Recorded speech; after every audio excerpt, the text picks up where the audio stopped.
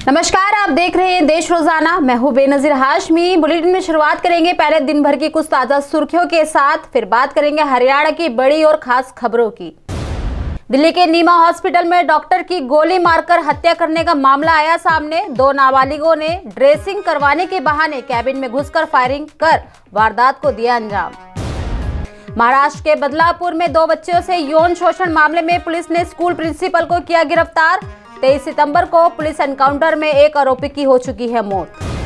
हरियाणा चुनाव में प्रचार के आखिरी दिन नूह पहुँचे राहुल गांधी। राहुल ने यहाँ से दक्षिण हरियाणा को साधने की कोशिश की। भाषण में भाजपा और प्रधानमंत्री नरेंद्र मोदी पर जमकर साधा निशाना।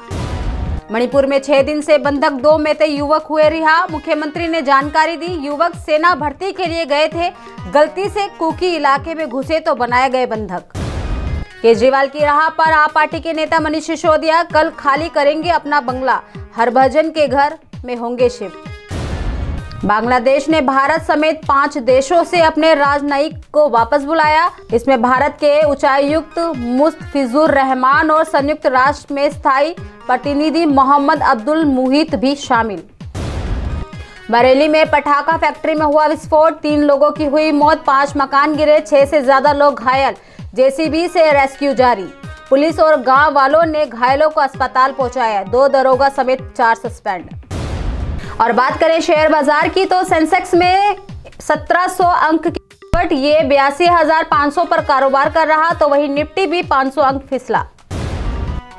पचहत्तर हज़ार सात सौ बासठ के ऑल टाइम हाई पर आया सोना चांदी एक हज़ार अड़तालीस बढ़कर नब्बे हज़ार नौ सौ तीस रुपए प्रति किलो पर पहुँची। साल के आखिर तक अठहत्तर हज़ार तक जा सकता है सोना।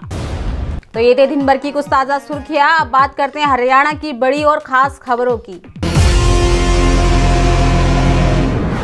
हरियाणा कांग्रेस में कुमारी शैलजा और भूपेंद्र हुड्डा का अलग अलग गुट है। दोनों के बीच अक्सर सीएम पद को लेकर टकरार चलती रहती है। वहीं कुछ दिन पहले ही राहुल गांधी ने मंच पर दोनों नेताओं के हाथ भी मिलवाए थे। दरअसल आपको बता दें कि हरियाणा में मतदान से दो दिन पहले बड़ी राजनीतिक हलचल हुई है। सिरसा से सांसद कुमारी शैलजा ने गुरुवार को सोनिया गांधी से दिल्ली में जनपद पर मुलाकात की। करीब आधे घंटे तक दोनों की मुलाकात चली। हरियाणा की राजनीति को लेकर चर्चा हुई, जिसके बाद पूर्व सीएम भूपेंद्र हुड्डा खेमे की बेचैनी और बढ़ गई है। वहीं हरियाणा की राजनीति भी इस मुलाकात से गर्मा गई है, क्योंकि कुमारी शालजा सीएम पद की दावेदार है।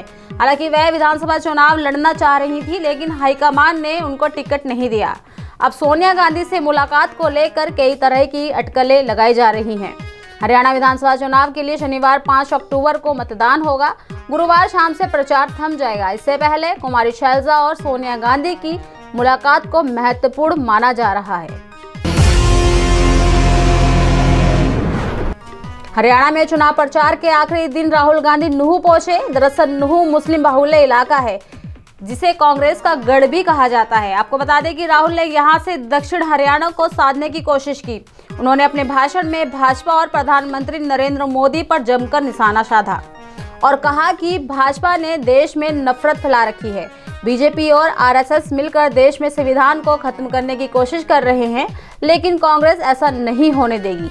राहुल ने अंबानी और अडानी का नाम लिए बिना ही कहा कि मोदी सरकार ने अपने दोस्तों समेत देश के 20 से 25 लोगों का अरबों का कर्ज माफ़ कर दिया है, लेकिन किसानों का कितना कर्ज माफ़ किया?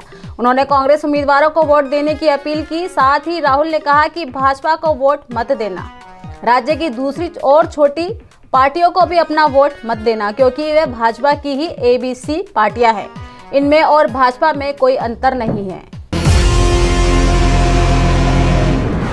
हरियाणा में चुनावी माहौल के बीच लखीमपुर खीरी में हुई किसानों की हत्या को लेकर लोगों में गुस्सा अभी तक जारी है। किसान अपना गुस्सा दिखाते हुए रेलवे ट्रैक पर अपनी मांगों को लेकर सरकार के खिलाफ विरोध जता रहे हैं। आपको बता दें कि किसानों ने अपनी मांगों को लेकर अंबाला दिल्ली सेक्शन पर रेलवे ट्रैक जाम कर दिया, जिससे ट्रेनों का संचालन बाधित हो गया।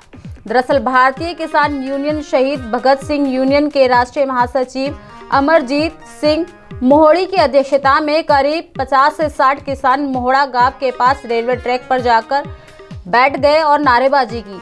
वहीं पंजाब में शंभू और चंडीगढ़ के पास लालडू में भी किसानों ने ट्रैक जाम कर अपना विरोध दर्ज कराया। आपको बता दें कि किसानों की मांग के समर्थन में प्रदर्शन दोपहर साढ़े बारह बजे शुरू हुआ, जो ढाई बजे तक चलता रहा। आंदोलन के कारण अंबाला दिल्ली रेल लाइन पर ट्रेनों का संचालन प्रभावित हुआ, जिससे यात्रियों को बहुत परेशानियों का सामना करना पड़ा। ट्रैक जाम के दौरान कटरा से आई वंदे भारत एक्सप्रेस फंस गई। रेलवे प्रशासन ने स्थिति पर काबू पाने और ट्रैक को जल्द से जल्द खाली कराने के लिए भारी संख्या में रेलवे पुलिस बल तैनात किया। प्रदर्शन समाप्त होने के बाद ट्रेनों की आवाजाही धीरे धीरे सामान्य हो गई। हरियाणा के पलवल ज़िले में विधानसभा चुनाव में मतदान के दिन यानी 5 अक्टूबर को ड्राई डे घोषित करने का उद्देश्य है। दरअसल मतदाताओं को मतदान के दिन मुफ़्त शराब वितरण के माध्यम से प्रभावित करने पर रोक लगाने के लिए ये उद्देश्य जारी हुआ है।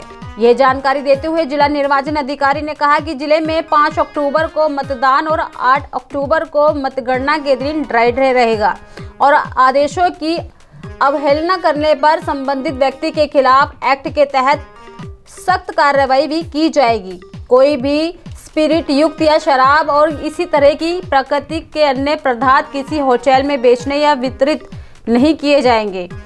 48 घंटे की अवधि के दौरान मतदान क्षेत्र के भीतर घर शराब खाने दुकान या कोई अन्य स्थान, सार्वजनिक या निजी होटल पर शराब बेचना या परोसना प्रतिबंधित रहेगा। गैर मालिकाना होटल, रेस्टोरेंट और शराब खाने की आपूर्ति के लिए लाइसेंस की विभिन्न श्रेणियों के तहत काम करने वालों को भी इन दिनों में शराब परोसने की अनुमति नहीं दी जाएगी। वहीं उचाना की कपास मंडी में हुई जसपा और आज़ाद समाज पार्टी की जन आशीष रैली का आयोजन के दौरान पूर्व डिप्टी सीएम दुष्यंत चौटाला ने शायराना अंदाज में कहा कि दिल का रिश्ता है, खास उचाना से जीवन की आस है और विश्वास है। जब तक जीऊँगा, उसके बीच रहूँगा। दुष्यंत की उठेगी लाश उचाना से। दरअसल इस दौरान चौटाला ने कहा कि भाजपा का सीएम भी पर्ची से बनता है। दिल्ली से एक पर्ची आती है और विधायकों को पढ़कर सुना दी जाती है। वहीं कांग्रेस में सीएम खर्ची से बनता है। दुष्यंत चौटाला ने कहा कि राज की हिस्सेदारी के कारण जजपा ने प्रदेश में अनेकों बड़े विकास कार्य करके दिखाए हैं। साथ ही कहा, उचाना की सड़कें अपने आप बयान कर रही हैं कि यहाँ पर कितना विकास हुआ है।